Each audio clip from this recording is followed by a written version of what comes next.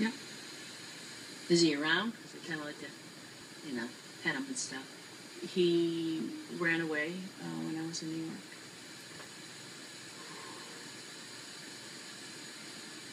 Oh God, that, that tears me up.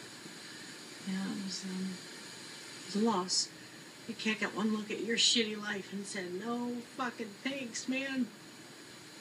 I am out of here. I'm still kind of just grieving a little bit about it. That fucking Tabby is an asshole. That's what he is. Fuck you. Uh, fuck you. That's what I say to that cat. God damn it.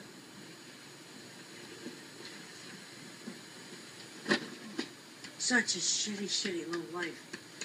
You can't even keep a cat. Yeah, that just hurts a little bit. That's just the grief. Not the, not the, it's just the, the pounding a little bit. It's just,